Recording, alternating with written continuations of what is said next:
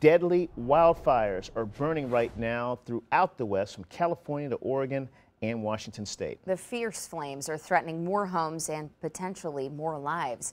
Our Justin Andrews is tracking new video and information coming into our newsroom from, uh, from overnight. Justin, what are you seeing?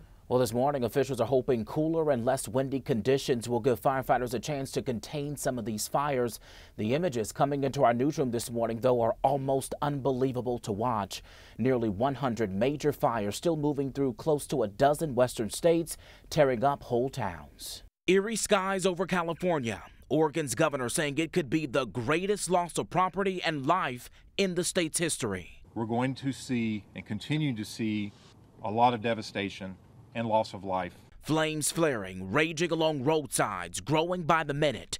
Terrifying video Thursday morning as police race through towns telling people to get out. Everything that we own over the past 20 years, gone. A 12 year old boy and his grandmother died in Oregon. In Washington, a one year old died when fires ripped through his parents in the hospital with severe burns. Fierce winds fueling the flames, swallowing tens of thousands of acres.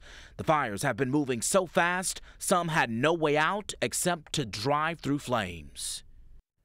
Now, some of these fires have zero containment this morning. Hundreds are still trapped as crews try to rescue them. New video this morning is expected throughout the morning. I'll show that to you in the next hour. But some of the most stunning images coming out west have really been those orange skies that we've seen because of those wildfires. This is video from San Francisco. It's very unreal and it makes you wonder that. how's the air quality there? Yeah. Oh, man. I, I mean, it's just it's eerie to even look at it. Hard, it's hard to even believe that's a real picture. It really is, yeah. Uh, but Kent, I mean, I